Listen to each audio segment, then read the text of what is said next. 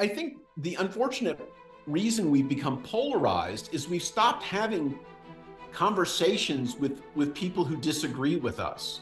And because of our technology, it's very easy, easy to isolate ourselves in echo chambers with people who believe just like us. And I've been in or I've been in group discussions where people who don't agree with me in terms of ideology just assumed everybody in the room believed the same thing. There was no checking of, hey, where are you on this? We can still be friends. There's a, a real sense that if if you're not like us, you're the devil. And so yeah. we've stopped having conversations. I think patriotism is so polarizing because it, it is a it is one visible way to create a distinction between two different worldviews. A worldview that says there is a better way, and this allegiance to nation stands in the way of my utopian worldview. And then there's the other worldview that, that says, yeah, we're never going to reach utopia. What we've got here is pretty good, so let's take it good and bad together, um, beauty and ugliness together. And, and those those are two very different worldviews. We can get utopia, or we'll just have to make the best with what we got. Patriotism, big subject. Uh, it yep. was once an honorable virtue here in the United States, something that people wanted to be. Uh, but lately, I would argue it's become kind of a polarizing topic. Uh, many on the far left, especially, see patriotism and patriotic symbols like the American flag um, as right wing for some reason, and sometimes even equate them with extreme ideologies. Uh, why do you believe something as simple as love for your country has become so polarizing today? I would say a couple different reasons. One is primarily a difference in worldview of, of what a person's vision is for the way the world ought to be.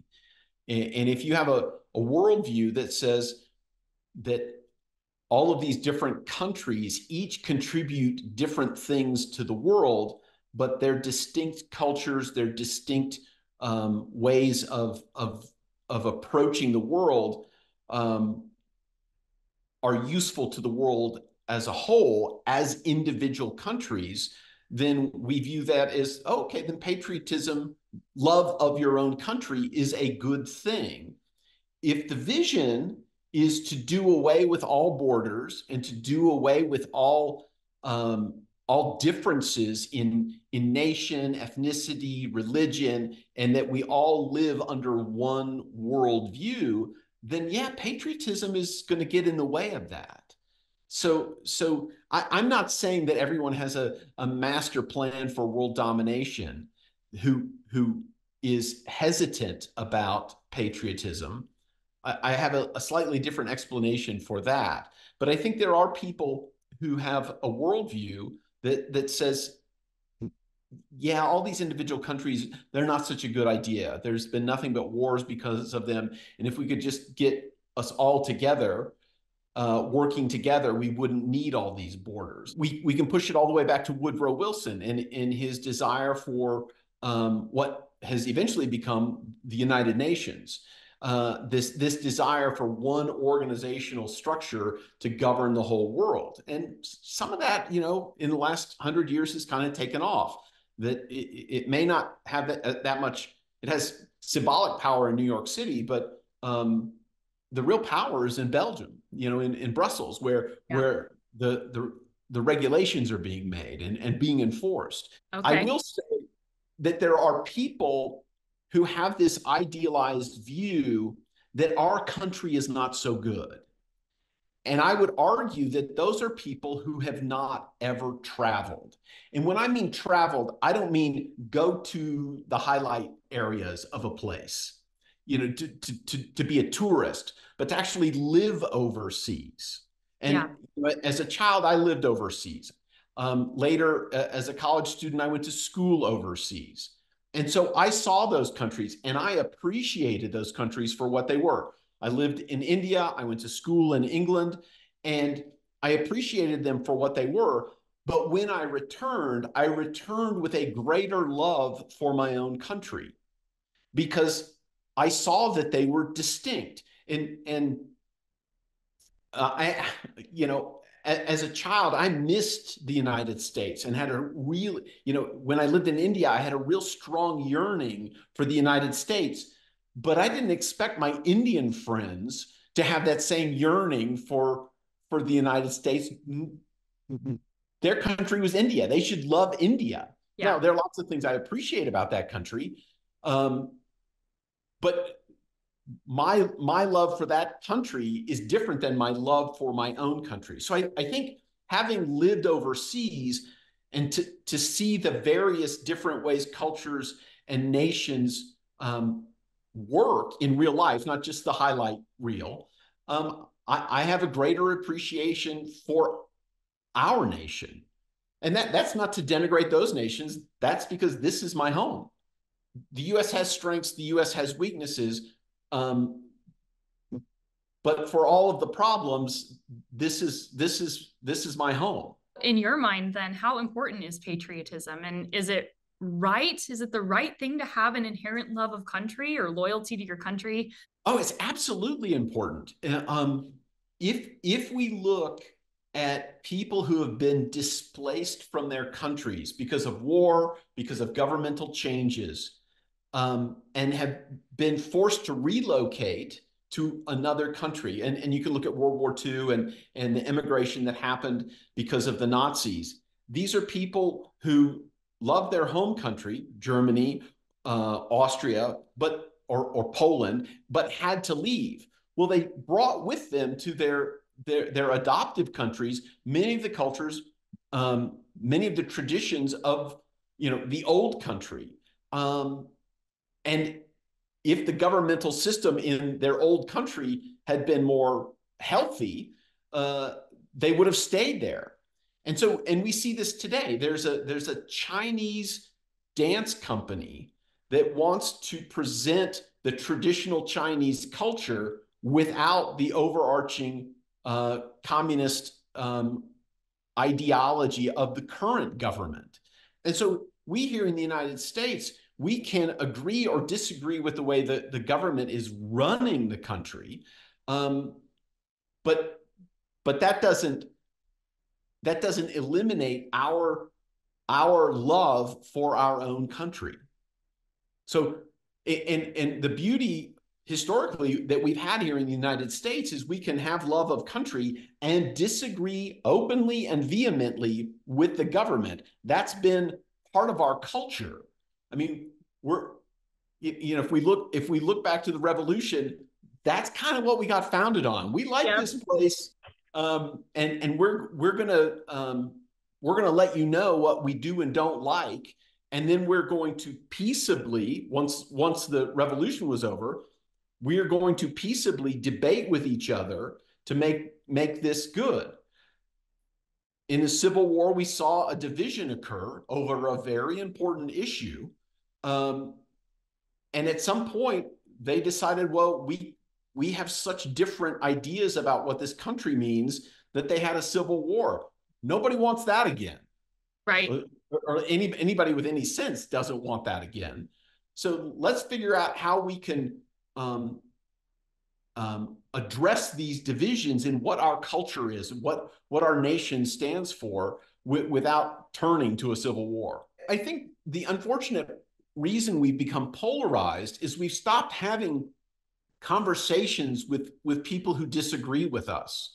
And because of our technology it's very easy easy to isolate ourselves in echo chambers with people who believe just like us. And i've been in or i've been in group discussions where people who don't agree with me in terms of ideology just assumed everybody in the room believed the same thing.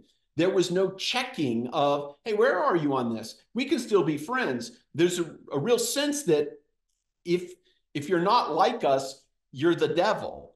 And so yeah. we've stopped having conversations. I think patriotism is so polarizing because it it is a it is one visible way to create a distinction between two different worldviews.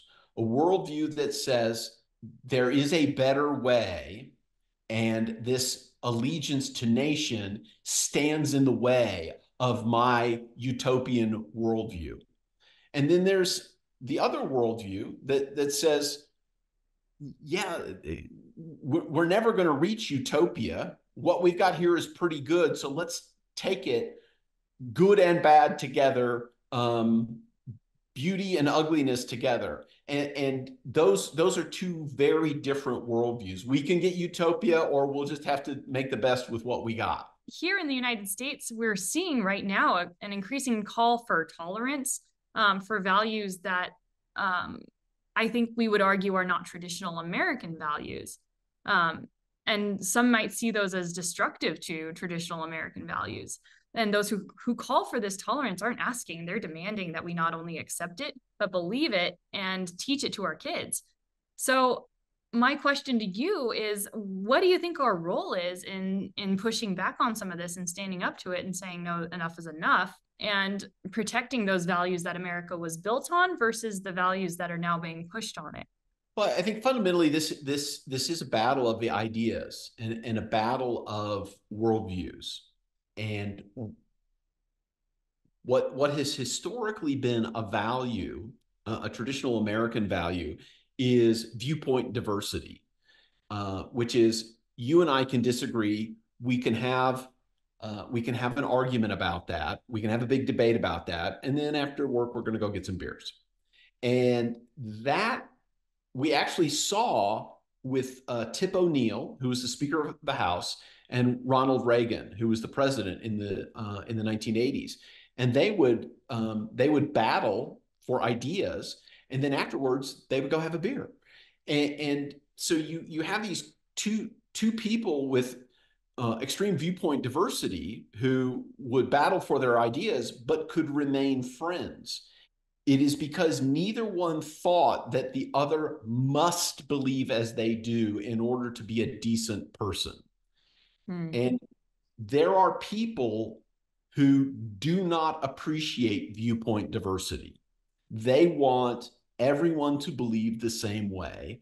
And since they believe they're right, they plug their ears and don't want to hear the other viewpoint and sometimes that that escalates to violence um, where do you think that mindset came from well that mindset's always been around mm. um, and in the in the 1960s uh, uh, a researcher named milton rokeach um, kind of coined the term dogmatism and dogmatism is not just rigidity of one belief, but rigidity of all beliefs. And I think we have seen an increase in the rigidity of belief systems. And what Rokeach said is this is my summary of, of one of his quotes, which is the mind is a balance between the need to know and the need to block out threatening information. And when the need to know is greater than the need to block out threatening information, you are in an open mindset. Hmm. But when the need to block out threatening information increases, then you shift into a closed or dogmatic mindset. Now, my little corollary to his body of research, and he's he's the big guy, and I'm just giving a little addendum, which is the amount of information that we are consuming actually becomes part of the threatening information. And the more information that gets thrown at us, the less time we have to digest it. And so at some point, we get so much information coming at us, it, it's like, no, don't tell me anymore. That's too much information. And so we shift into a dogmatic state my concern, and again, I'm not anti technology, but I believe with the increased volume of information, the increased volume is actually setting people into a dogmatic state of mind. That we consume so much information that we are not able to really digest it all. and that shifts us into dogmatism or closed-mindedness what really are these two mindsets and that we're talking about with this this overarching question the um, tyranny of tolerance i would say and the pushback and the maybe more traditionalism that we see um, coming against that. What are these two mindsets battling out for and what are their objectives do you think? Well it, th- there are outcomes based on two fundamentally different worldviews and and the person who's outlined this the best is uh, thomas sowell and he said there is a utopian vision that um, the world is perfectible and that we can with people are basically good and with technology and really smart people, we can create a utopia. Gosh, I wish I wish that was true. And actually, until my early 30s, I believe that to be true. The other he calls the tragic vision. And the reason he calls it the tragic vision is because unfortunately there's tragedy in life. And this is the belief that we can't reach utopia and that human beings are a mix of good and bad. Um, each of us, not just that's a good person, that's a bad person, but each of us has in us both good and bad. And we can't we can't come to any idealized solution. He's most famous for saying uh, there are no solutions, only trade-offs. Because he's of he's of that tragic vision. And so you have these two different visions of the world and the people who are demanding that we agree with them have a utopian view that they can create heaven on earth. Hmm. Those with the tragic vision think, yeah, we're just doing the best we can. We're going to keep trying to improve it. You know, that human beings are improvable but not perfectible. Yeah. So we have to we have to deal with the the basic problems of human nature. We can't get people to be perfect. What um what are the best parts of American society or the way we were founded that still hold true today um, that we should celebrate and recognize on the fourth? You know, I'm gonna I'm gonna borrow from a person I really respect because I think I, I think this is a not his is a nice summary, and it's a it's a gentleman named Dennis Prager, and he he calls it the American Trinity. And he says it's on every coin, the three basic values. The first is liberty. We call it the Declaration of Independence for a reason. And um, our founders were so freedom or liberty minded. Uh, I, I, guess I, guess maybe another way you could define liberty is leave me the hell alone. Um, that, that I'm self regulating enough. I'm a grown up enough. Leave me alone because I, I can figure this out and I don't I don't need another mom. Okay. So that's the liberty piece is is freedom, independence. The second piece is e pluribus unum, which is out of many one. Yep. And what what that means is we've got a lot of people from a lot of different places with a lot of different ideas, but fundamentally, from our different places, we are Americans. And so, so we, we as Americans, unusually, in, relative to other countries, unusually embrace legal immigration. I mean, if you want to immigrate to Japan, good luck. If you want to immigrate to Switzerland, good luck. Yep. If you want to legally immigrate to the United States, unfortunately, right now it's stand in line. Um, but but once people have come here, they have identified as Americans, and they have taken on the values of this country. So liberty out of many one, and the last is in God we trust. And that's also on our coinage. And yes, some of the founders were deists and not what we would today call Christians. But but there there was a fundamental view that there was some some uh, higher power, some transcendent force, and that that was an important part of our founding. And if you look at some of the language from the founders, they said this is a kind of nation that can only work among a religious people. Now, they didn't define the religion, but they said a religious people because those are the people who are self regulating. So you can't have liberty unless you have self regulation. That God concept results in self regulation. Do you think that the decline of religion here in the United States will ultimately be a, a detriment that will bring maybe our downfall or maybe a fundamentally altered vi- uh, version of the United States? I would say a decline of healthy religion is a threat to our country. Hmm. There are plenty of unhealthy versions of religion. I mean, you, you you can't you don't have to look very far to find abuses in the guise of religion. That's not what I'm talking about.